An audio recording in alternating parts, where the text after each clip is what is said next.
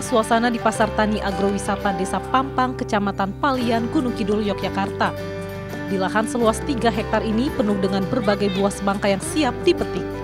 Terdapat lebih dari 3 ton semangka yang siap dipilih oleh para wisatawan. Ada tiga varian semangka yang dapat dipilih, mulai dari semangka biji, semangka non biji, hingga semangka inul. Satu kilo semangka dihargai mulai dari Rp5.000. Selain bisa memilih langsung, pengunjung pun dapat menikmati buah semangka di ladang. Menurut pengelolanya, upaya ini dilakukan agar harga panen semangka tidak dipermainkan para tengkulak. Harga tersebut di atas harga yang dibeli tengkulak kepada petani yang rata-rata hanya Rp3.500 per kilogramnya.